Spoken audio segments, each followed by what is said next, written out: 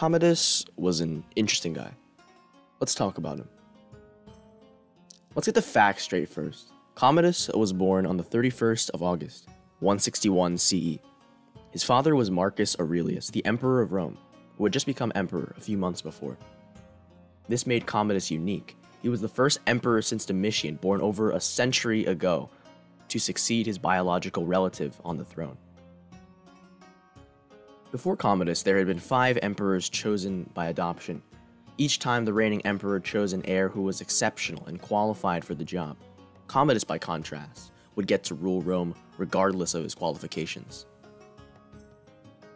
There is a conventional view of Commodus's reign, and then there is a revisionist perspective.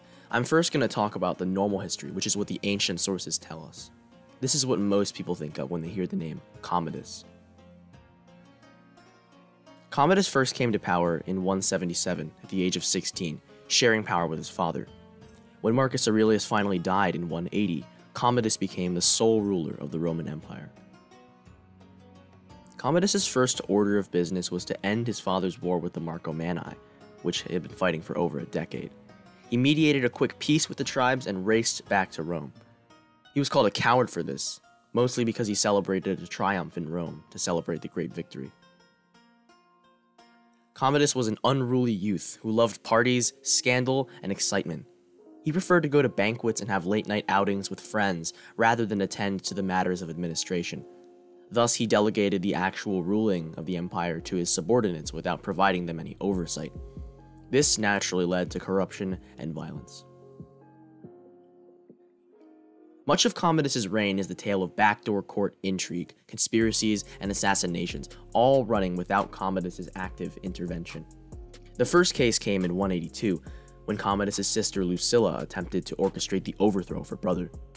This attempt failed, and she was eventually executed along with a bunch of other conspirators. But this conspiracy awakened a deep paranoia in Commodus's mind, leading him to persecute any disloyalty harshly. The two most prominent figures in Commodus's early court were Perennis, the Praetorian prefect, and Cleander, Commodus's favorite palace chamberlain. Perennis was a competent official, but he was also incredibly ambitious, and he began to plot against Commodus. Before he could orchestrate his takeover, however, his plot was exposed with the help of Cleander, who was also ambitious and wanted Perennis' job. After Perennis was executed in 185, Cleander became Commodus' closest official and the second most powerful man in the empire. Cleander succeeded in obtaining control of all public offices. He used his position to sell these offices to the highest bidders, a horrible example of corruption. He also deposed the Praetorian prefect with Commodus's blessing in 188, consolidating pretty much all state power for his own purposes. In the year 190, there were a record 25 consuls, an absolutely insane number unmatched anywhere else in all of Roman history. Cleander became massively rich from the sales of these offices to ambitious men. Cleander's downfall came after a grain shortage in the city of Rome. The people rioted, causing Cleander to send the Praetorians to crush the mob. However, the people resisted by throwing stones and bricks, and the urban soldiers of Rome, who disliked the Praetorians, joined the people in pushing them back. Soon the angry mob was at the gates of the palace, where Commodus and Cleander were hidden inside. Commodus was persuaded by his other advisors that Cleander needed to die, and so he ordered him executed on the spot. His head was thrown out the window of the palace, and the people immediately calmed down. After the death of Cleander, Commodus took it upon himself to take a more direct role in ruling the empire. He had always portrayed himself as a godlike figure, taking the likeness of Hercules on his coins. And while Nero had performed on the stage, Commodus was a muscular young man who loved fighting in the Colosseum as a gladiator. He orchestrated spectacular displays of skill, including one spectacle where he killed hundreds of large animals with well placed spear throws and arrows. He frequently fought opponents and killed animals, which provided the people with great entertainment. However, the senators saw this as disgracing the imperial office. Commodus instituted a propaganda campaign to remake Rome and the Roman Empire in a new image, one that revolved around himself. After a fire in Rome in 191, He began the process of renaming the city after himself, changing the official name to Colonia Lucia Annia Commodiana. He changed the names of the months to correspond to each one of his 12 names.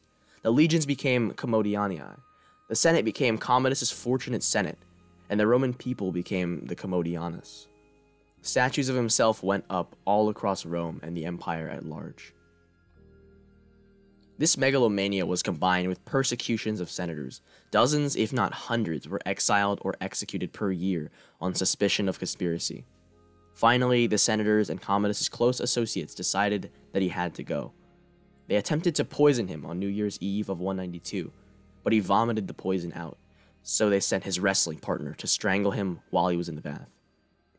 On a late New Year's Eve, Commodus died there in his bathtub.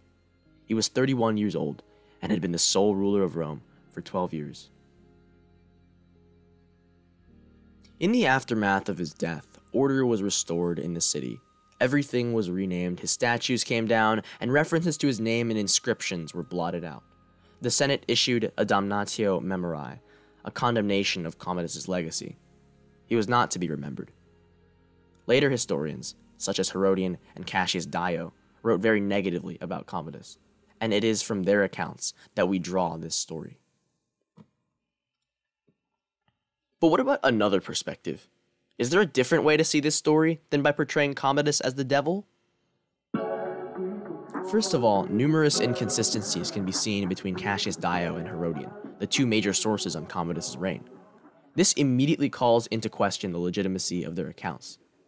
Additionally, Cassius Dio, who wrote the more comprehensive account, was a blue blooded senator, and Commodus had plenty of disputes with the Senate. There's a pattern of senators writing negative history about emperors who oppose the Senate, and this may just be one of those examples. Examining the start of Commodus' reign, it is unlikely he was a very independent ruler. I mean, he was only 18 after all, and he had very little experience with any practical business. So by the end of the Marcomannic Wars of Marcus Aurelius, it was most likely a decision made by the elites and advisors surrounding Commodus to end the war, rather than a sign of his personal cowardice. Instead, it was a practical decision by the elites, and it was an attempt to move on from past commitments. The truth is that Commodus remained immensely popular with the people and the army. His gladiatorial shows entertained hundreds of thousands over the years. Later emperors also revered him calling upon his legacy and rehabilitating his reputation. Septimius Severus, a future emperor, actually had him officially deified. If he was really so bad, why would future emperors risk even mentioning his legacy, let alone celebrating it and making him a god? The crucial point in Commodus' reign was around the year 190, when he began to assert himself as an independent imperial figure. This was also around the same time that his disputes with the Senate began escalating and eventually became deadly. This was when he began ascending to megalomaniacal levels and making his associations with gods insane, even by Roman standards. But the fact remains that the people and the army accepted this insane escalation, even continuing to support Commodus through it all. Thus, it must have been a logical continuation of an already existing imperial cult perhaps one that was supported by the Senate. So here comes an alternate thesis. Commodus' disengagement from politics in his early years was not his own choice. It was because he was only a figurehead and a conduit for powerful senatorial elites to once again exercise their power. He was thus made a harmless puppet for the first decade of his reign, unable to do anything himself. The senators also contributed to an imperial cult helping elevate Commodus to a revered level to fit their own program of Roman renewal and prosperity. People need someone to worship after all. In this construction, the problems came when Commodus came to want power for himself. He began asserting his independence around 190, resulting in an escalation of conflict with the Senate. His escalation of his propaganda to godlike levels was just an attempt to elevate his position relative to the Senate. Essentially, their own construction of Commodus backfired on them. Finally, the elites were forced to end it with an attempt at assassination, which, fortunately for them, succeeded. They were then safe to destroy his statues erase his inscriptions, and slander him in the history books. The corruption of Commodus' reign was not his fault, but rather the Senate's fault. Cleander was selling political offices because he was an ally of the elites and wanted to benefit as many of his elite supporters as possible with political prestige. And he had plenty of reason to be paranoid after his falling out with the Senate. In this view, very little written by the senatorial historians can be trusted or taken at face value. The limits on the source material, particularly a lack of archaeology due to the Senate's campaign of destruction on his artifacts, are unavoidable. We can only construct ideas about what Commodus's reign was truly like. He may have been an irresponsible, paranoid, megalomaniacal youth, or he may have been suppressed by authority all his life and just wanted to be his own man.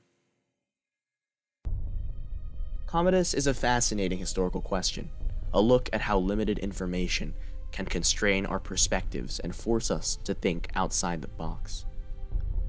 But whatever the truth may be, it is undeniable that Commodus' death brought on a new and dangerous era of Roman history. Rome would struggle on the road ahead.